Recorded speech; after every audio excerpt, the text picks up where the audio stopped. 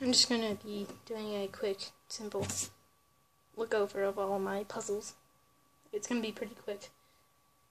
And I think it'd be best if I did it now instead of later. Uh, I'm going to start off with my 3 by 3s Uh, I'm just going to go here. Uh, so, I have, this is the first puzzle that I have actually ever played with, and I had it since about a year ago, but after like a month or two, or more like two or three months later, I learned how to solve it. It um, I've used a lot of lubricant on it, and it's actually a really good puzzle for a Rubik's brand. Uh, this is my Zhanchi, but well, a piece popped and I don't know where it is. So I'll probably search for it later.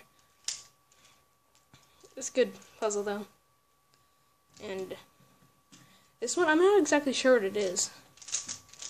I think that it's a Cyclone Boys, but it's just probably most likely a knockoff. And, uh, uh it's my main. Yeah, I mean, the Zhanchi would be my main if I did, if I hadn't lost that piece, but currently, right now, it is my main, and I like it a lot. Uh, I already did a video about these picture cubes, but uh, I didn't solve them. I, I don't have them solved because I was going to solve them, but I just didn't have the motivation to do it. Uh, this one's a Hello Kitty picture cube, and then this one's a Christmas-themed picture cube. Since they're both dollar store cubes, they turn pretty badly, but they're fun. And here I have a V-Cube 3. Uh, I got it at Barnes & Noble, and it turns really good. It has pretty good corner cutting, but reverse corner cutting is kind of non-universal. I, it, it just doesn't exist. And I'm pretty sure that that wraps it up for the 3x3s at least the normal-ish 3x3s. Uh, I have two void cubes. Uh, the Rubik's brand void cubes. Uh, I got them at Christmas, and I've thought of doing the chain mod on them, but it just doesn't seem like it would be worth it. Probably when I have, get another void cube. Uh, uh, then this is my V-Cube 4. It's my main 4x4, because, well, it's my only 4x4. It's what I learned to solve on, and it's a really good puzzle. Uh, I don't really average on 4x4, or solve times, um, time my solves on 4x4 much anymore, but, you know, it's good to have. Uh, here's my treasure chest cube. It used to just be in a pile of pieces, but recently I got some super glue to fix it up. It can't turn. I, my idea is just rip the core out and then uh, super glued all the pieces together to make a lid and then the box. It can't really hold much, if anything, but it's a cool novelty. Uh, here's my V Cube 7. Uh, I've attempted three mods on it. Uh, one of them I did a video about, but uh, the, the most recent one didn't do much.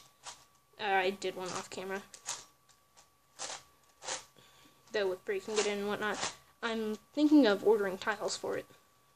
Super bright. I'm hoping. I'm pretty sure that clears it up.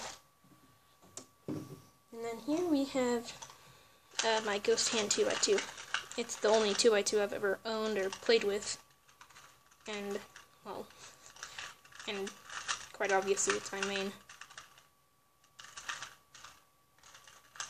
Uh, there's not there's not much to explain about it. I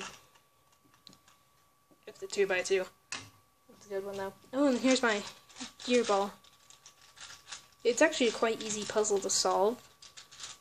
Uh, Red KB once said in his videos that when you scramble it, uh, it can actually be very easy so then you can purpose, so then you'd purposely make it hard. Uh, it turns really good though. I got it at Barnes and Noble, and it's a fun puzzle to just play around with and show non-cubers.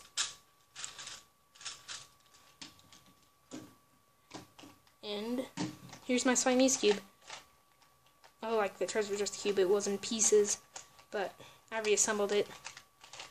And uh, just made out of two dollar store cubes.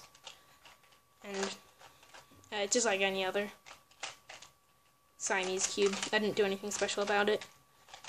Uh, it has the 80, the 80s color scheme though, and uh, when I put them together, I only had the white and the orange side um, connected, so uh, like in sync kind of. So like right here, you have the blue and the red, even though it should be red and red. It was a pretty silly mistake, but wasn't that bad. It's fun puzzle though.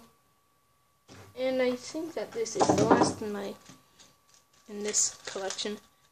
But uh, this is a brain twist. Uh, the way it works is that you can twist it by the corners, quite obviously. Uh, but it took me a while to, like, a day or two after I got the puzzle, um, uh, that I could figure out that I could do that, and then twist around.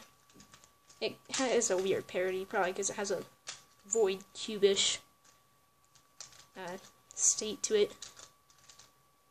But it's definitely in my top 10 puzzles list. I'm pretty sure that that clears it up for the collection. If I missed any, I'll leave a comment if you know. And V Cube 7.